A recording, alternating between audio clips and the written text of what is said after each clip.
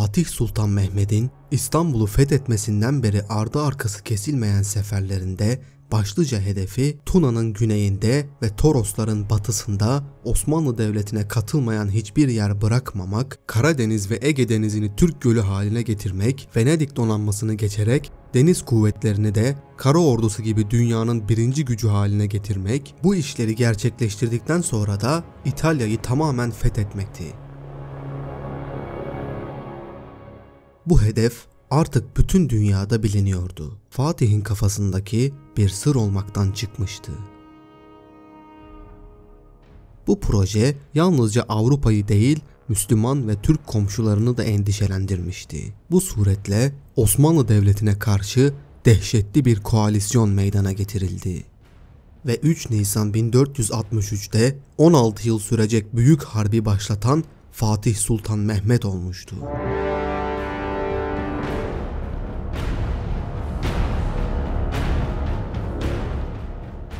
28 Temmuz'da Venedik Cumhuriyeti Osmanlı Devleti'ne harp ilan etti. 30 Eylül'de Macaristan Venedik'in yanında Osmanlı'ya karşı savaşa girdi. Macaristan'ın ardından Almanya, Polonya, Kastilya, Aragon ve Napoli devletleri dahil küçük büyük toplam 20 devlet Osmanlı'ya harp ilan etmiş ve güçlü bir koalisyon kurmuşlardı. Bu 20 devlete karşı Osmanlı Devleti müttefiksiz olarak tek başınaydı.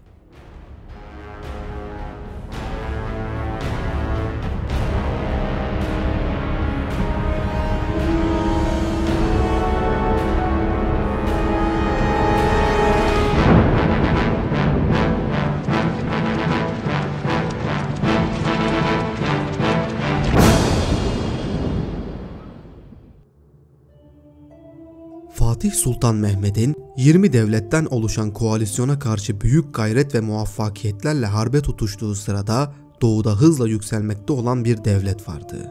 Bu devlet ehli sünnet Müslüman ve Türk bir hükümdar olan Uzun Hasan tarafından idare edilmekteydi. Uzun Hasan hükümdarlık tahtına oturuncaya kadar Akkoyunlular pek fazla önem taşımıyorlardı. Fakat onun iş başına gelmesiyle birlikte durum değişmişti. Çünkü Uzun Hasan, Karakoyunlu hükümdarı Cihan Şah ile Maveraün Nehir hükümdarı Ebu Said Miran Şah'ı mağlup edip öldürmeye ve topraklarını da kendi ülkesine katmaya muvaffak olmuştu. Bu suretle Fırat havalisinden Maveraün Nehre kadar uzanan büyük ve kuvvetli bir devlet kurmuş oldu. Toprakları genişledikçe gururu da genişleyen Akkoyunlu hükümdarı Uzun Hasan bir cihangir olmak sevdasına kapılmıştı.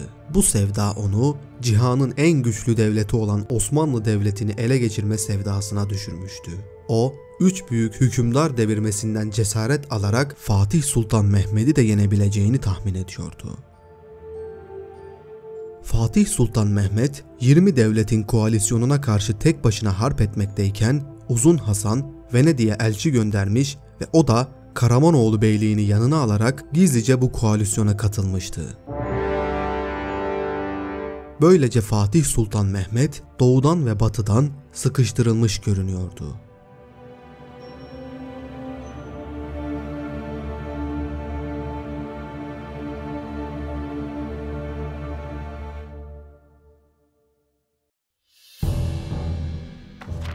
Fatih Sultan Mehmet 1470 yazında ordu ve donanması ile Eğriboz adasını fethetmiş ve Venedik'in alınamaz denilen Batı Ege'deki üssünü ele geçirerek Venedik'in Ege denizindeki varlığına son vermişti.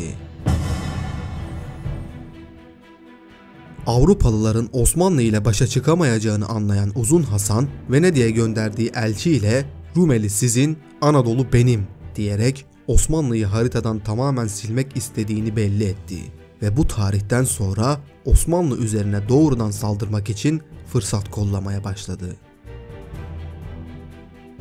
Fatih Sultan Mehmet, Karaman'ı mutlaka Osmanlı sancağı altına alması icap ettiğini biliyordu.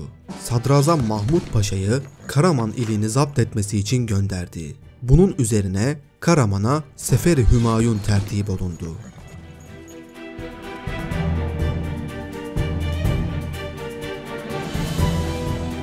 Sadrazam Mahmut Paşa önce Pir Ahmet'i Konya'dan çıkardı, sonra da Larende civarında yapılan şiddetli bir muharebede Pir Ahmet Osmanlı karşısında hezimete uğradı.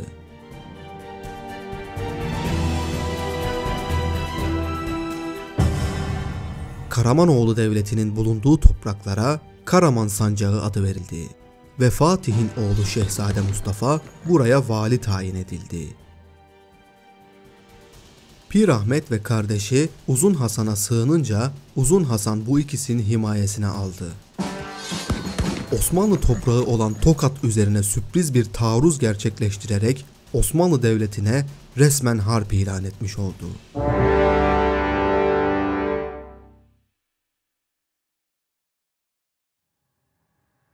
Uzun Hasan'ın gönderdiği birlikler Tokat üzerine gelip şehrin civarını köyleriyle birlikte yakıp yıkarak birçok mal talan ettiler.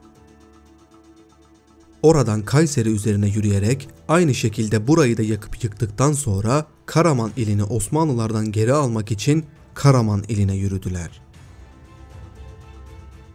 Fatih Sultan Mehmet bundan haberdar olunca oğlu Şehzade Mustafa'ya haber gönderip Karahisar'a çekilmesini istedi. Ardından Anadolu Beylerbeyi Davut Paşa'ya haber gönderip ordusuyla Karahisar'da bulunan Şehzade Mustafa'nın hizmetine girmesini, onunla birlikte Akkoyunlu akınlarını durdurmasını istedi. Hızla harekete geçen Anadolu Beylerbeyi Davut Paşa ordusunu toplayıp Karahisar'da bulunan Şehzade Mustafa'nın hizmetine girdi. Bunun üzerine Şehzade Mustafa Akkoyunlu ordusunu Osmanlı topraklarından çıkarmak için Karaman iline yürüdü. Sultan Fatih Uzun Hasan'a bir mektup yazarak ehli İslam üzerine gidip onlara zulümde bulunmasının doğru olmadığını, eğer yapabiliyorsa din düşmanları ile savaşması gerektiğini ve yapılan haksızlığı ortadan kaldırmak için bizzat kendisinin geleceğini bildirdi. Ancak Uzun Hasan cevap mektubunda Kapadokya ve Trabzon'un kendisine verilmesi şartıyla barış yapabileceklerini söyleyince bu duruma çok hiddetlenen sultan şöyle dedi. Bismillahirrahmanirrahim. Kudret ve kuvvet ancak Cenab-ı Hakk'a mahsustur.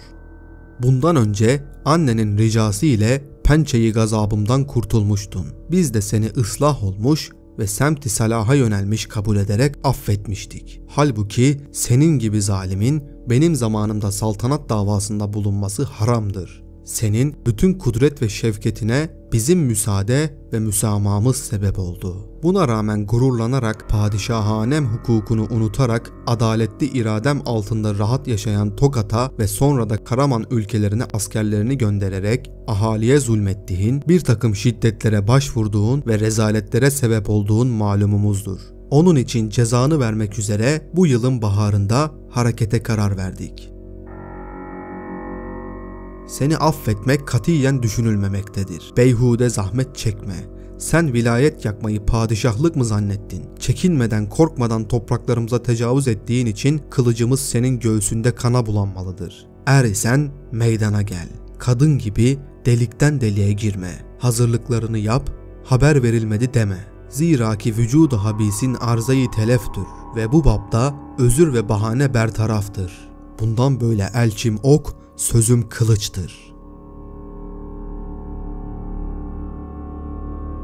Bu mektup ile Uzun Hasan'a harp ilan edilmiş oluyordu. Fatih Sultan Mehmet harbe karar verince derhal İstanbul'dan göçüp Anadolu tarafına otağı kurulmasını emretti.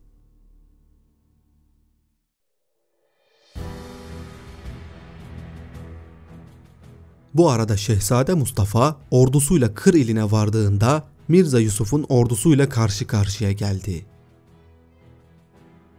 Akkoyunlu ve Osmanlı ordusu şiddetli bir savaşa tutuştular. Bu şiddetli savaşta Mirza Yusuf, Şehzade Mustafa karşısında ağır bir hezimete uğradı. Mirza Yusuf ve ileri gelen adamlarının çoğu Osmanlı ordusu tarafından esir edilerek elleri bağlı şekilde Sultan Fatih'e gönderildiler. Böylece Şehzade Mustafa Akkoyunlu işgali altındaki Osmanlı topraklarını kurtarmıştı. Bu Uzun Hasan için kötü bir haberdi. Ancak Uzun Hasan daha büyük, korkunç bir atlı Türkmen ordusu ile Osmanlı'nın üzerine saldırmayı planlıyordu. bu arada Venedik'e haber gönderip kendisinin Osmanlı üzerine yürüdüğünü, Venedik'in de gemiler ile İstanbul'u kuşatmasını istedi.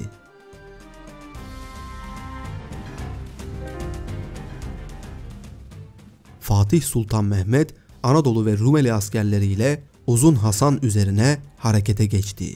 Bu arada Uzun Hasan da ordusunu hazır etmiş yürüyüşe geçmişti.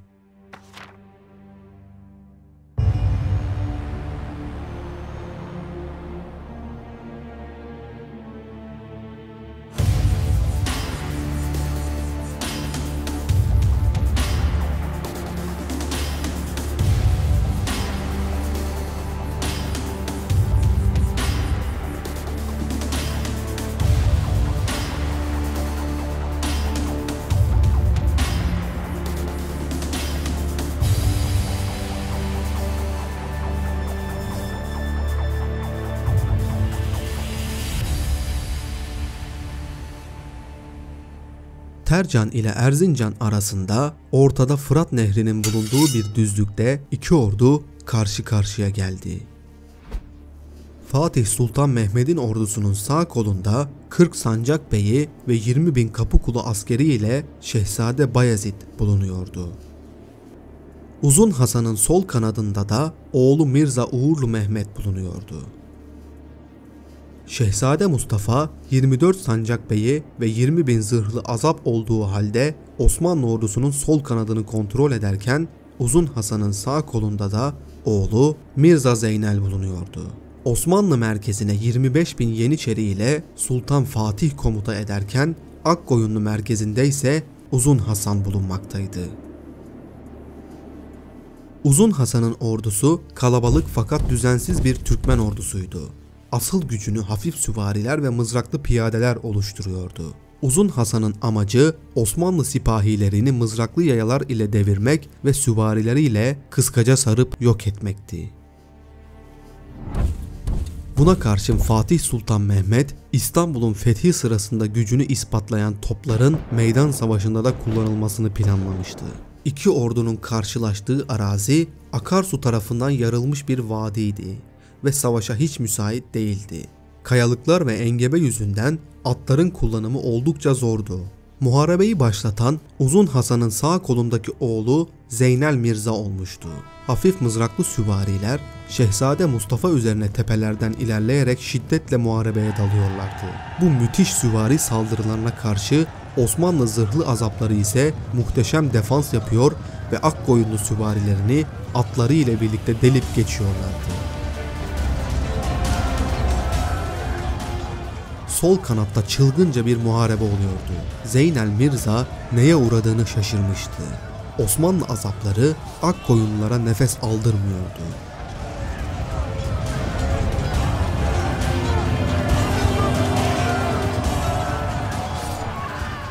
Muharebenin kızıştığı bu anda Mirza Zeynel atından düşerek Osmanlı azaplarının arasında kaldı. Kılıççı Ahmet adındaki bir azap askeri Zeynel Mirza'nın başını keserek kafasını havaya kaldırdı. Komutanlarının kesik başını gören Akkoyunluların cesareti kırılmış ve kaçarak çekilmeye başlamışlardı.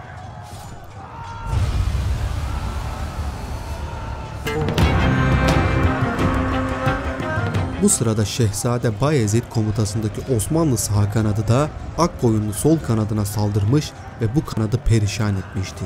Şehzade Bayezid ve Şehzade Mustafa Akkoyunluların iki sağ kanadını da kırarken Uzun Hasan oğlu Zeynel Mirza'nın öldüğü haberini aldı. Üzüntüsünden kahrolmuş bir şekilde yanında bulunan Karamanoğlu Pir Ahmet'e Karamanoğlu hanedanın harap olsun. Beni ciğerparemden bunca dilaverden çıkarıp bednam olmama sebep oldun. Benim Osmanoğlu ile ne işim vardı diye haykırmıştı. Uzun Hasan Osmanlılara çatmanın bedelini çok ağır ödüyordu.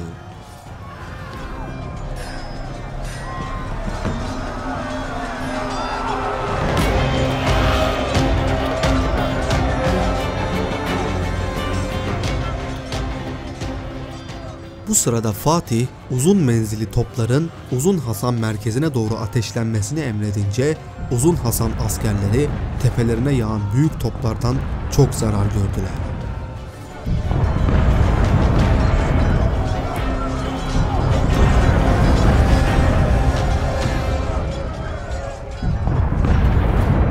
Şehzade Mustafa komutasındaki azepler artık Uzun Hasan komutasındaki merkez tarafına ilerlemeye başlamıştı. Osmanlı merkezindeki Yeniçerilerin muharebeye girmesine bile gerek kalmadan muharebenin neticesi belli olmaya başlamış Uzun Hasan'ın sağ ve sol kanatları çökmüştü.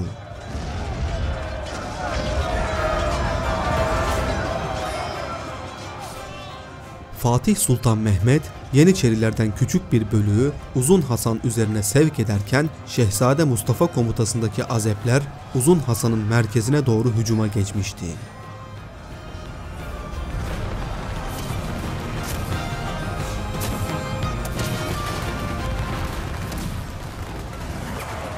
Tüfekli Yeniçerilerin atışlarından aklı şaşan Türkmen süvarileri dağılmaya başladılar. Uzun Hasan yenileceğini anlayınca boz atına binip harp meydanını terk etti. Onun çekilmesiyle merkez ordusu da dağıldı.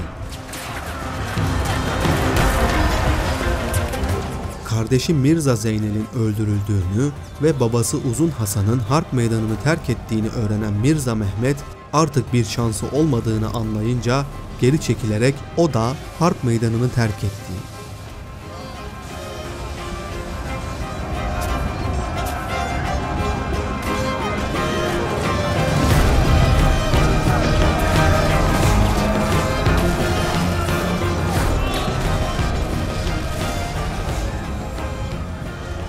Böylece Osmanlı Devleti Akkoyunlu Devleti'ni büyük bir hezimete uğratmıştı.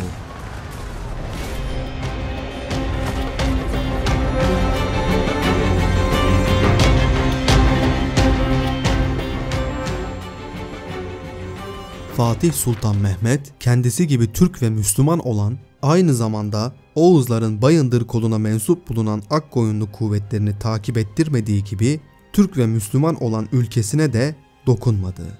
Neden üzerlerine gitmiyoruz diye soran İbrahim Paşa'ya cevaben gayenin saltanat yıkmak değil Uzun Hasan'a ders vermek olduğunu, İslam memleketlerini tahrip ile İslam hükümeti yıkmanın doğru olmadığını, öte taraftaki gaza harplerini bırakıp burada Müslümanlarla uğraşmanın iyi bir şey teşkil etmediğini söylemişti. Bu zaferden sonra Osmanlı aleyhine harekete geçmiş olan Haçlıların da ümitleri kırılmıştı. Fatih Sultan Mehmet akınlarını Venedik, Macaristan, Almanya, Boğdan, Polonya ve Ceneviz üzerine sürdürmeye devam edince kısa sürede Venedik, Almanya ve Macaristan pes etti. Venedikliler de Osmanlı ile anlaşma istemek zorunda kalınca batıda ve doğuda Osmanlı Devleti'nin büyüklüğü kabul edildi. Batılılar Osmanlı Devleti'ni mağlup edip İstanbul'a tekrar hakim olamayacaklarını kesin olarak anladılar. Akkoyunlu ülkesinde ise gücü kırılan Uzun Hasan kısa süre sonra vefat etmiş ve taht mücadelesi başlayıp hanedan parçalanmıştı. Böylece Fatih Sultan Mehmet 30 yıllık saltanatı boyunca 17 devlet ve 200 şehir fethetmiş ve Osmanlı Devleti 22 devletin koalisyonuna karşı müttefiksiz olarak tek başına zafer kazanmıştı. Dünyanın Osmanlı Devleti karşısında aciz kaldığı ortaya çıkmıştı.